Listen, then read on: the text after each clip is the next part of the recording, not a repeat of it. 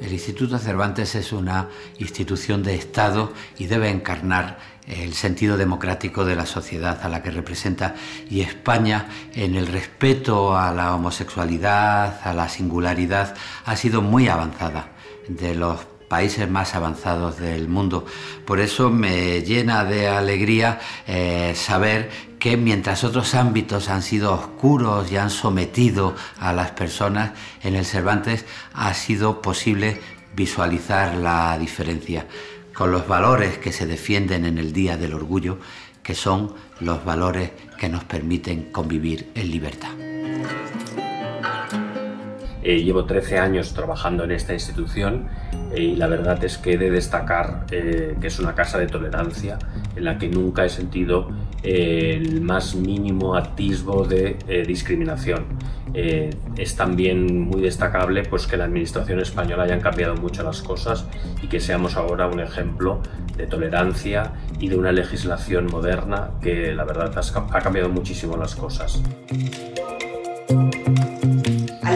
ubicados en países tan diferentes, el respeto a los valores individuales debe ser objetivo prioritario en nuestro centro.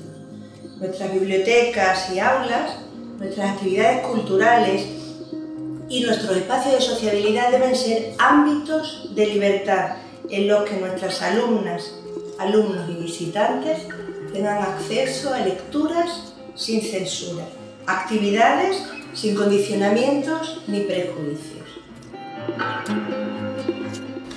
Ese espíritu tiene que estar presente en nuestras vidas, cada día, porque tenemos la obligación moral y social de dar continuidad y acrecentar ese legado con responsabilidad e ilusión, con la mirada puesta en el mundo, sobre todo en ese mundo donde todavía ser gay, lesbiana, transexual es un delito, ese mundo donde las personas no pueden amar libremente. Este día tiene que convertirse no solamente en un día de orgullo LGTB, sino en un día de orgullo mundial. Lo largo de mi vida he tenido parejas de ambos sexos. Hasta hace dos años compartía mi vida con una mujer con la que he recorrido todos o casi todos los países que os he mencionado antes y tengo que decir que haciendo gala al, espíritu inclusivo del Cervantes nunca hemos tenido ningún problema en el trabajo, ni con los compañeros, ni con los directivos, ni con la institución en sí. Me siento muy orgulloso de formar parte de esta gran familia tan dispersa y tan diversa y por ello aprovecho esta ocasión para agradecer de corazón a todos y a todas los que en el Instituto Cervantes lo habéis hecho y lo seguís haciendo posible. Afortunadamente disfrutamos de un espacio de tolerancia, de libertad, de diversidad que ha costado el esfuerzo de muchísima gente.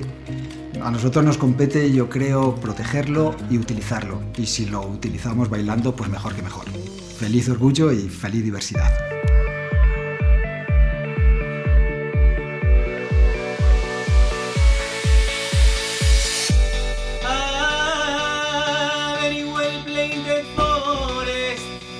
La mayoría de las veces, hace años que, que hablo de, de, revolución, hace años que sueño con la revolución.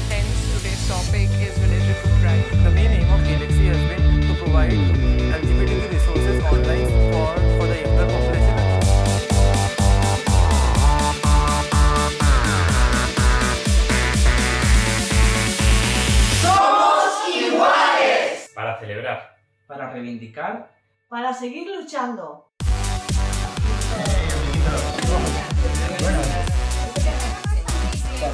Desde Río de Janeiro también queremos celebrar el Día del Orgullo Gay y sus manifestaciones artísticas. Elisa y Marcela, una historia de amor desgarradora. Feliz Día de la Diversidad porque afortunadamente el mundo es diverso. Por un mundo diverso.